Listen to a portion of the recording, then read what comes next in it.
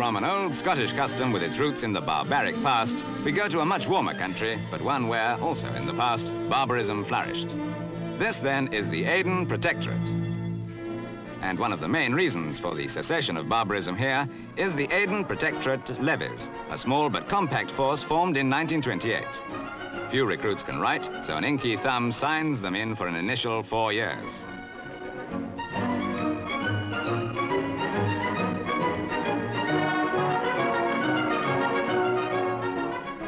RSM of the Welsh Guards delivers instructions which are clear, unambiguous and quite audible, practically throughout the length and breadth of the Protectorate.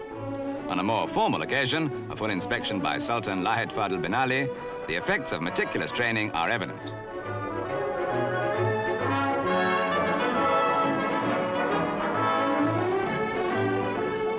The occasional outbreaks of violence both within and on the borders of the Protectorate are caused by what are officially called dissident tribesmen.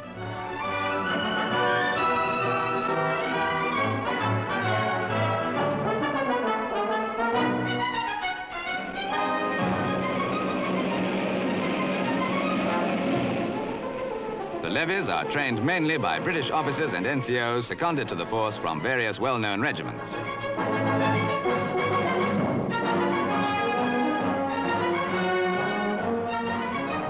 A familiar enough scene of military precision to the majority of people in these islands, but the snooty-looking camels add a reminiscent touch of the old northwest frontier, with the British petulantly demanding tiffin, chota pegs and the like.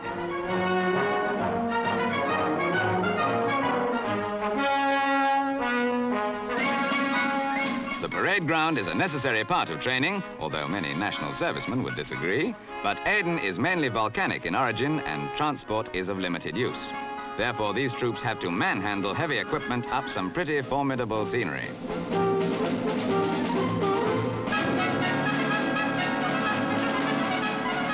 Running up hills like this is difficult enough at the best of times, but when loaded down with machine guns and three-inch mortars, plus ammunition and stores, it becomes a positive nightmare.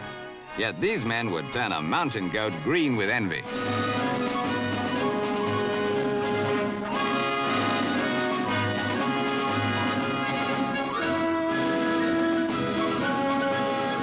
Despite the rigorous training, a recent recruiting drive brought at least five volunteers for every vacancy.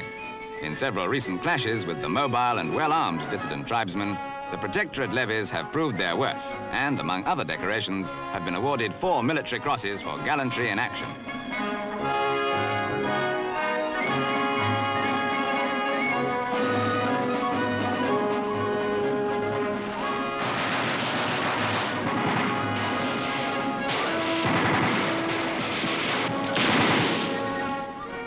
Anyone with aggressive intentions might well change his mind when facing the full weight of a spirited attack like this.